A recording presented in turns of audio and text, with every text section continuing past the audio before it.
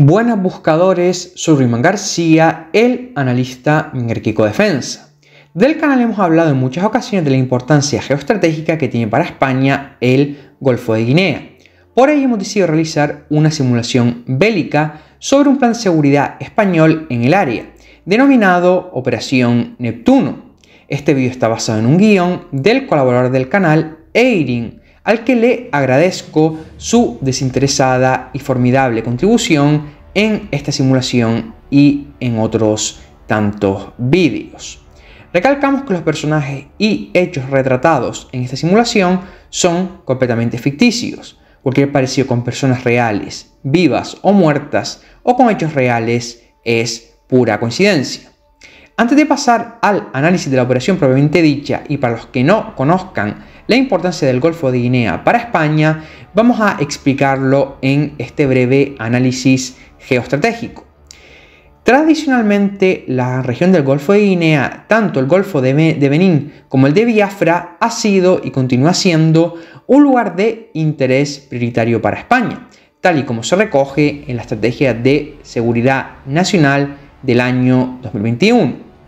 Los sectores económicos más afectados en la zona son los del sector pesquero y energético. Así, por ejemplo, son abundantes los barcos de pesca españoles que faenan en diversos caladeros. Y respecto a la energía, cabe decir que es un espacio de tránsito muy importante por ser de los países ribereños de donde proceden nuestras principales fuentes de hidrocarburos. En 2020, el 25% del petróleo que importó España procedía de esta región y en 2022 Nigeria con un 12,8% fue el principal exportador. Todo ello denota la relevancia que tiene el Golfo de Guinea para la economía española. En la actualidad es un lugar donde los actos de piratería proliferan en abundancia y se incrementan constantemente, debido en gran medida a las carencias de los países ribereños en materia de seguridad marítima. Por eso países como España, Francia y Portugal, que también son afectados, contribuyen a paliar la situación con la presencia de unidades navales y policiales, pero con resultados más bien exiguos. El Consejo de Seguridad de la ONU impulsó las actividades de cooperación en seguridad marítima, y por su parte, la Unión Europea desarrolla un programa en el que participa activamente nuestro país a través de la iniciativa denominada Presencia Marítima Coordinada. En esta zona se concentran diversos desafíos y amenazas para la seguridad nacional, especialmente en el ámbito marítimo. Entre otras actividades delictivas destacan el robo a mano armada, en la mar y la piratería, al igual que la pesca ilegal no declarada y no reglamentada, así como el tráfico ilícito de drogas y armas, y también las redes criminales de inmigración irregular. Actualmente el Golfo de Guinea es el área marítima con mayor número de incidentes de piratería en el mundo, por delante del Estrecho de Malaca y el Océano Índico, donde la piratería se encuentra contenida gracias a la acción de las fuerzas navales desplegadas, entre ellas la Operación Atalanta de la Unión Europea, liderada por España desde el año 2019, y a la concienciación de la comunidad marítima internacional. El modus operandi de la piratería en la región ha evolucionado, pues aumenta el número de incidentes que incluyen el secuestro de la tripulación para la posterior solicitud de rescate, y se incrementa notablemente la distancia a la que se producen los ataques, que en 2021 ha llegado a alcanzar las 200 millas desde la costa. Estos ataques se concentran principalmente en la costa nigeriana, tanto en la zona del Golfo de Benín, con epicentro en Lagos, como en la zona del, delta del Níger, centrados en Port Harcourt, aunque también se produce un número relevante en las costas de Camerún, Togo y Benín. Asimismo, la región se caracteriza por una eficiente capacidad de control y vigilancia marítima de los países próximos. Y así, los incidentes ocurridos recientemente en el estrecho de Hormuz, en el Mar Rojo, con los ataques de los islamistas hutíes intentando bloquear la navegación comercial, han hecho que la preocupación del gobierno de España se incremente notablemente. El riesgo de que en el estrecho de Gibraltar se produzcan hechos similares, aprovechados por radicales islamistas del norte de África, obliga a reaccionar y disponer de unas fuerzas armadas preparadas para cualquier eventualidad. De esta forma, la intervención de unidades militares españolas en el Golfo de Guinea se justifica no solo por la necesidad de procurar la defensa de los intereses comerciales de la región, sino también servir de teatro de operaciones y de experiencia militar, ante el riesgo posible de tener que intervenir en un área mucho más delicada para la defensa del país, como se trataría del estrecho de Gibraltar. Y con estas premisas, el gobierno español pretende dar un salto cualitativo en materia de seguridad nacional, afrontando la cuestión de forma decidida y práctica. Por eso tiene lugar la reunión del Consejo de Ministros que adopta las decisiones que se describen a continuación. Un martes cualquiera del mes de abril de 2024, en esta simulación, a las 10 de la mañana, se reúne en el Palacio de la Moncloa en Madrid el Consejo de Ministros del Gobierno de España para debatir y en su caso aprobar sobre todo la propuesta del ministro de Defensa relativa a un probable despliegue militar en el Golfo de Guinea, y ello con la finalidad de incrementar la seguridad marítima en la zona, con una ampliación de las unidades militares españolas intervinientes en la zona. Tras una exposición inicial del ministro de carácter político y estratégico, discurre su plan de intervención hacia aspectos un poco más concretos sobre el plan de seguridad en el Golfo de Guinea, denominado por el GEMAT Operación Neptuno. Desarrolla el plan en los siguientes términos. Dice textualmente, el diseño de las operaciones se realizará bajo los siguientes parámetros. A. Despliegue inicial. Para el cumplimiento de sus objetivos, nuestras tropas se instalarán en tres lugares o bases de operaciones. Primero Dakar, en Senegal. Se utilizará principalmente el aeropuerto Blaise Diagne, que ya es base del destacamento Marfil de apoyo a Mali. Es un lugar idóneo porque los militares desplazados ya usan las instalaciones de la Escuela Aeronáutica Comandante Lemaitre y porque es la base del avión de transporte C-295 utilizado en esa misión. Asimismo se han desplegado dos escuadrones de la EADA, el Grumoca y diverso personal de mantenimiento de la A-35. Su destino dentro del operativo Neptuno será el de enlace aéreo intermedio entre Canarias y la base más alejada del operativo, y como lugar de descanso y relevo de personal, así como de tipo logístico general. Segundo, Accra, en Ghana. En este lugar se utilizará tanto el aeropuerto de la capital como el puerto Harbor. Ambas instalaciones están muy próximas entre sí y constituyen el extremo occidental del polígono, o espacio preferente de intervención que luego seguirá, es una ubicación conocida por nuestras tropas porque en su puerto ya han recalado en varias ocasiones tanto el patrullero de altura Centinela como el Banfuror, y el aeropuerto de Harbor se viene utilizando por equipos de operaciones especiales del MOE, en colaboración con el ejército ganés y los Navy SEALs de los Estados Unidos. Tercero, Malabo, en Guinea Ecuatorial. Se trata del aeropuerto y puerto de la capital, antigua Santa Isabel, de la isla de Bioko, antes conocida como Fernando Po. La elección de este lugar como la base principal y centro de operaciones se debe no solo a las buenas relaciones con la ex colonia española, sino también porque se sitúa en el vértice oriental del polígono de actuación, en pleno Golfo de Biafra, que es la zona más conflictiva en lo referente a ataques piratas y asaltos a buques mercantes. Y su puerto está bien protegido y en general la isla permite el despliegue tanto hacia el interior del Golfo como en aguas abiertas para dar protección con barcos de cierto porte a las rutas comerciales de petróleo. Ahora vamos a la zona de actuación. Tanto nuestros buques como aviones y drones desarrollarán su misión fundamentalmente en las proximidades de la costa de los países que tienen el litoral con el Golfo de Guinea, en un área romboidal con vértice occidental en la localidad ganesa de Secondi Takoradi y la isla de Bioko en el vértice oriental, con espacio abierto hacia el sur hasta la isla de Annobón en Guinea Ecuatorial, a unos 680 kilómetros en donde existe un pequeño aeropuerto. Las distancias aéreas entre Accra y Malabo es aproximadamente de unos 1000 kilómetros y entre esta y Anobón es de 700 kilómetros aproximadamente, ambas asequibles a nuestros aviones y por mar también. La base más alejada de la zona de operaciones sería la de Dakar, en Senegal, que dista poco más de 2.000 kilómetros. Medios previstos. Para el cumplimiento de esta misión de seguridad, vigilancia marítima e intervención, se desplegarán los siguientes medios más materiales y personales, que tendrán sus respectivas bases de operaciones en lugares descritos, Así, en Dakar habrá un avión C-225, un sistema antidrones Cerberus 3, dos escuadrones de la, de EADA, elementos de la Grumoca que en total suman unos 70 hombres. En Accra habrá un buque de acción marítima, que puede ser el Furor o el Tornado, un helicóptero A-212 embarcado en el buque, un sistema de defensa de punto Sentinel-30, un dron Scan Eagle modelo digital en el buque, un sistema dron Tarsi de reconocimiento para operar desde, tierra, un sistema antidrón Cerberus 3 con una torre Guardian 2.0 con lanzagranadas de 40 mm, instalado en tres vehículos Bantac ST-5 y ST-3, equipo operativo de la Fuerza de Guerra Naval Especial embarcado, personal de seguridad de la base, al igual que una compañía de infantería de Marina de la Fuerza de Protección de la Armada. En total unos 60 hombres, al igual que personal de mantenimiento y servicio. Toda esta fuerza constituye unos 180 soldados y marineros.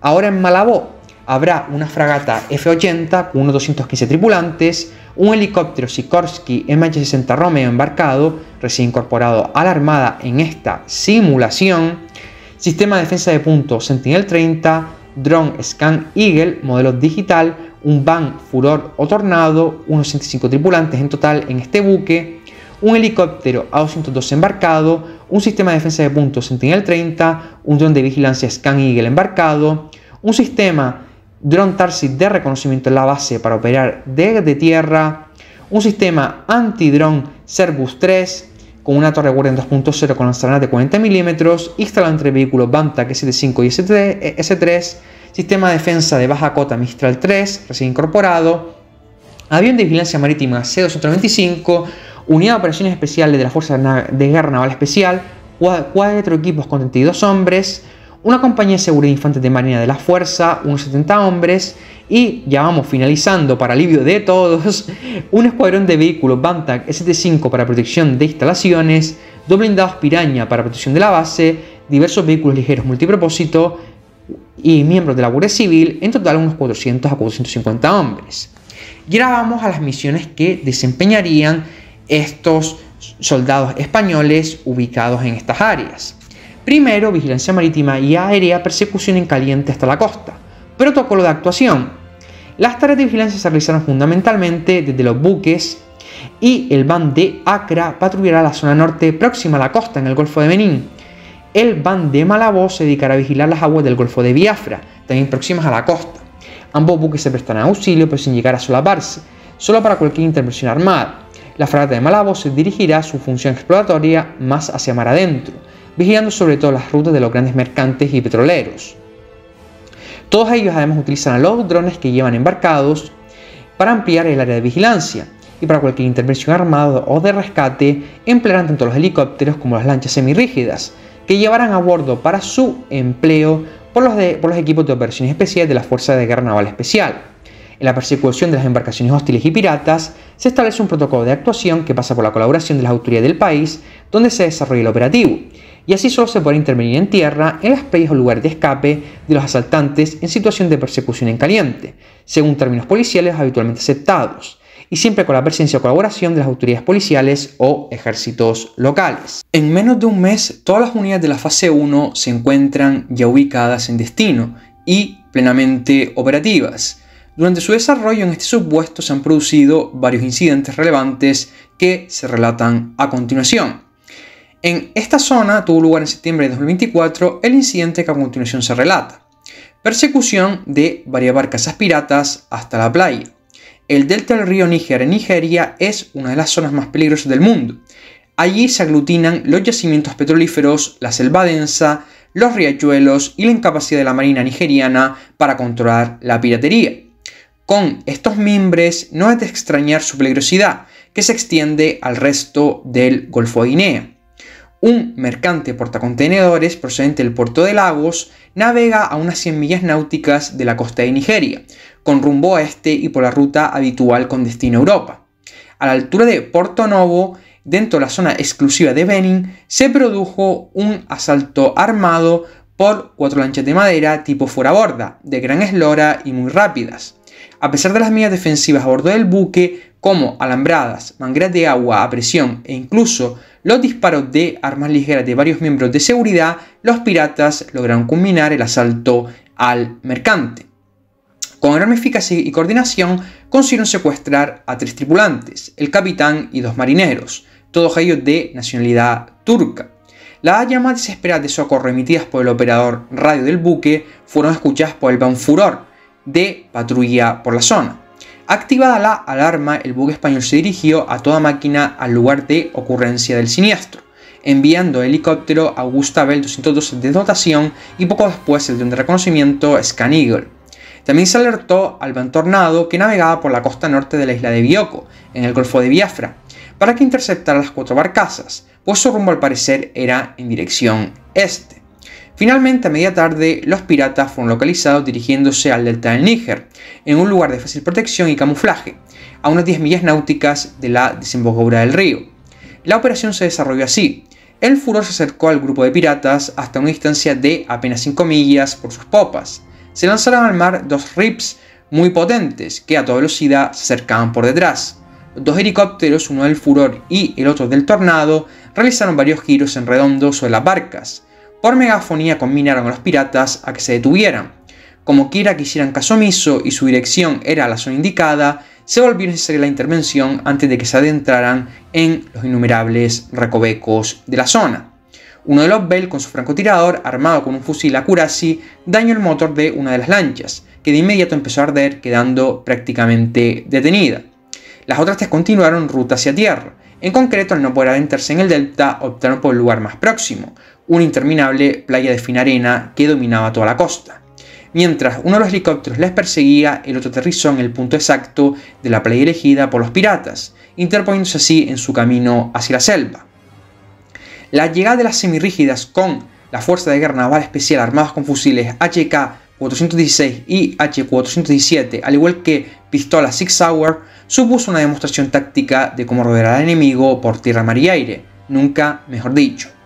Un breve enfrentamiento con intercambio de disparos culminó con los brazos arriba de los piratas y la salvación de los marinos turcos. Acto seguido, siendo el protocolo establecido, los apresados fueron conducidos a uno de los buques de la Armada y, tras la comunicación oportuna, reconocidos por las autoridades de Benín. Bombardeo con drones y misiles desde tierra. En octubre de 2024, lo que al principio no pasaban de ser simples escaramuzas, se están convirtiendo en ataques cada vez más frecuentes y sofisticados. La preocupación de los mandos iba en ascenso, pensando ya en solicitar el pase a la fase 2, dado que los ataques, sobre todo con drones y misiles, procedían de tierra y se empezaba a vislumbrar la necesidad de realizar algún ataque aéreo a los lugares de lanzamiento. Y para ello se necesitaban los F-18 de Canarias y así los ataques se dirigían fundamentalmente a las instalaciones del aeropuerto y puerto de Malabó, en donde sí ubican las principales fuerzas expedicionarias españolas. A primera hora de la mañana llegan los drones de impacto directo o kamikaze. Se aproximan, se en grupos de una docena. Fueron rápidamente derribados o desmantelados electrónicamente por los Cerbus desplegados los alrededores de las dos instalaciones malabeñas. El problema se acrecentó cuando por las noches empezaron a, recibirse ataques con misiles de alguna posición de los posibles terroristas. Ya no eran piratas. Al principio se fueron eliminando con los Mistral 3 y los Cerbus. Pero este, este sistema exige una gran atención y concentración de los servidores, de las defensas, con lo que su eficacia disminuyó en alguna ocasión, provocando que los misiles alcanzaran algún objetivo. Ante ello, el mando de la operación Neptuno, tras averiguar a través del dron Tarsis la ubicación de las lanzaderas de los terroristas, solicitó la intervención inmediata y precisa de los F-18 de Gando para el bombardeo de los sistemas misilísticos agresores. Para ello, y previamente, y desde un 225, se lanzaron en paracaídas dos equipos de la Fuerza de Guerra Especial en las proximidades de los puntos de lanzamiento, equipados con designadores láser para dirigir y focalizar el bombardeo. Aunque se consiguieron varios éxitos destruyendo las lanzaderas, el mando ordenó ad cautelam la aproximación de la fragata Victoria para cubrir la zona con misiles de todo tipo. El peligro fue disipado y los ataques prácticamente se neutralizaron en su totalidad. Pero la incertidumbre por su repetición llevó a las autoridades militares a proponer al ministro de Defensa el pase a la situación fase 2, con todo lo que ello suponía. Y en esa espera de si se toma esta importante decisión o no, nos encontramos a fines del año 2024 en esta simulación de Eirin y Rumen García, que espero que les haya gustado. ¿Piensas que España debe crear un operativo especial para el control del Golfo de Guinea? Deja tu mensaje en la caja de comentarios del vídeo, comparte en redes sociales y nos vemos en el informativo del sábado.